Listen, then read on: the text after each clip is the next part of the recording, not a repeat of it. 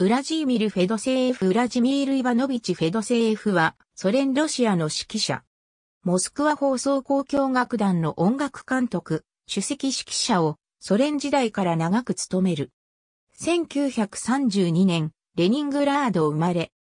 ムソルグスキー学校、モスクワのグネーシン音楽大学、モスクワ音楽院に学ぶ。1971年にエフゲニー・ムラビンスキーの推挙により、レニングラードフィルハーモニー交響楽団の客演指揮者としてデビューする。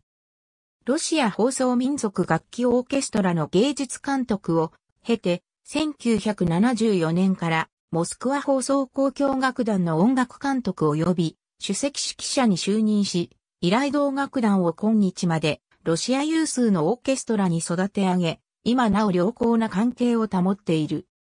国外では、バイエルン放送交響楽団、シュトゥットガルト放送交響楽団、ハンブルク歌劇場管弦楽団、東京フィルハーモニー交響楽団、フランス国立管弦楽団などのオーケストラとの共演のほか、イタリア、スイス、イギリス、スカンディナビア、アメリカなどに幅広く客演する。その間、東京フィルハーモニー交響楽団主席客演指揮者、ウィーン交響楽団主席指揮者を歴任している。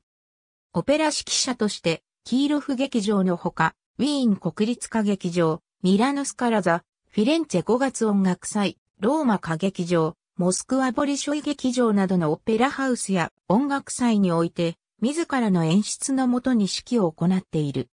受賞歴として、ソ連邦人民芸術家、グリンカ賞、モスクワ知事賞、シルバークロス賞、ゴールデン、オルフェウス大賞等がある。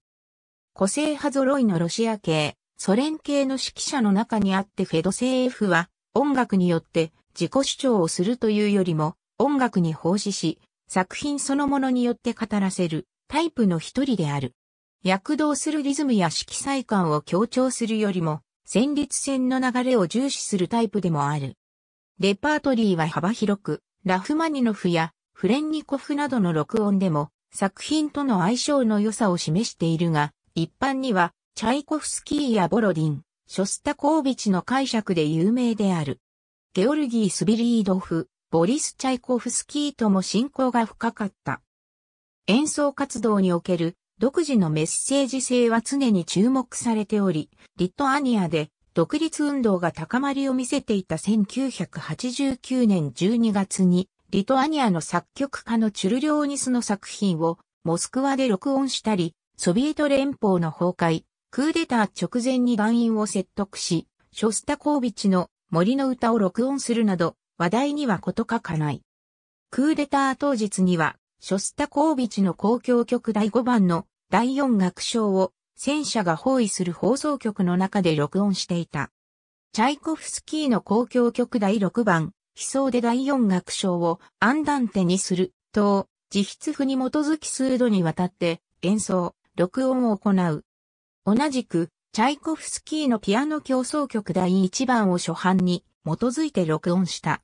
チュルリョーニスの公共詩、海も、その後も何度か録音、演奏を繰り返している。モスクワ放送交響楽団を率いての来日公演では正規のプログラムのみならず、アンコールも評判が高いことで知られる。ありがとうございます。